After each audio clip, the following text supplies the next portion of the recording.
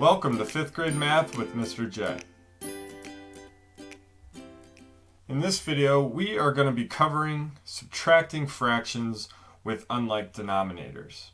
And subtracting fractions with unlike denominators is just like adding fractions with unlike denominators. It's the same exact steps, you're just subtracting instead of adding. So you need a common denominator, you need to rename with that common denominator, and then you need to subtract. And then you need to check if your answer can be simplified. So same exact steps, just need to subtract. So like my other instructional videos, I highly suggest you write these out with me. And then after we finish these four problems together, you'll try some on your own over at the mastery check to see if you have it down. So let's start with number one here. And our first step is we need a common denominator because 12 and 8 obviously aren't the same, so we aren't able to subtract yet. And in order to find the common denominator, we find the least common multiple. So we count up by 12s, count up by 8s, and see where the first number they have in common is, what the first number they have in common is, the least common multiple. So I'll do that right here off to the side. And if you're starting to catch on and you can either you remember what the least common multiple is between two numbers or you can do it in your head without writing them out, that's fine. But for, for, for this first one, I am going to write it out. So 12, 24, 36, 48. 8, 16, 24, and it looks like we have a common multiple. Double check that there isn't something less than 24.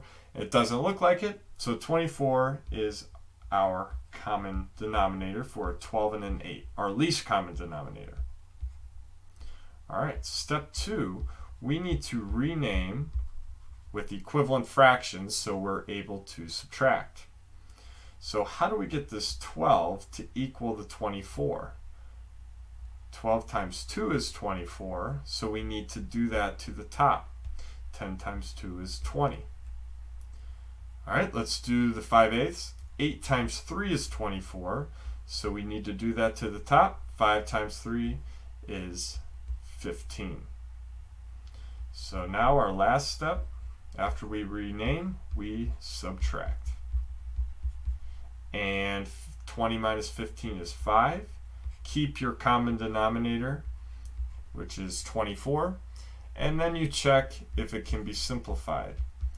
Now, just like the addition video, none of these can be simplified on uh, out of these four problems because we're just working on the process of subtracting. So we will uh, throw simplifying in at a later time. So 5 eighths, the only common factor between 5 and 24 is 1. So that means we are done. 5 24ths. Number 2, nine, 3 ninths minus 1 18th. So if we were to write our lists out, or maybe we can uh, recognize what the least common multiple is off the top of our head, whichever way you want to do it, you should get to 18. Let's rename here. 9 times 2 is 18, so we need to do that to the numerator. 3 times 2 is 6.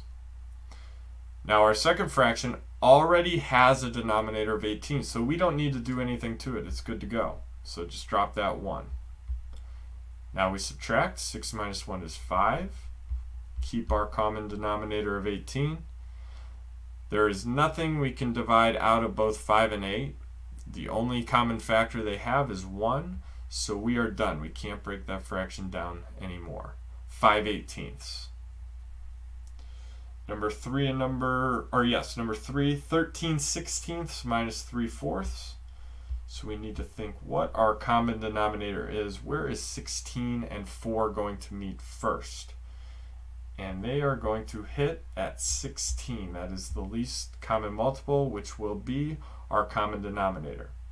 So 13 sixteenths already has a denominator of 16, so we are done there. For the second one, 4 times 4 is 16, so 3 times 4 is 12. 13 minus 12 is 1. Keep our, de our denominator the same. 1 16th, can't break that fraction down anymore, can't simplify it. Only common factor is 1, so we are done, 1 16th. Number 4, 1 half and 1 third. So we need our least common multiple there.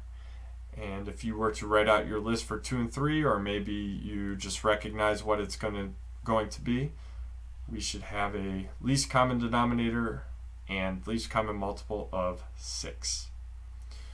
2 times 3 is 6. 1 times 3 is 3. 3 times 2 will give us that denominator of 6.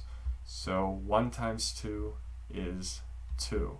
So we get to 3 sixths minus 2 sixths. We have a common denominator, so we are able to subtract. 3 minus 2 is 1. Common denominator of 6. This fraction is simplified. The only common factor between 1 and 6 is 1, so we are done. Our answer to number 4 is 1 sixth. So that's subtracting fractions with unlike denominators. Same exact steps as addition we are just subtracting instead of adding. So I hope you're ready to give the mastery check a try here to see if you have this down on your own. So I'll see you over at the mastery check. Thanks for watching.